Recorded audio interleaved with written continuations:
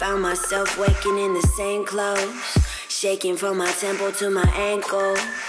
Sunny, but I need another raincoat. Waiting by a payphone. Finally, I coughed up some awful information that I thought of.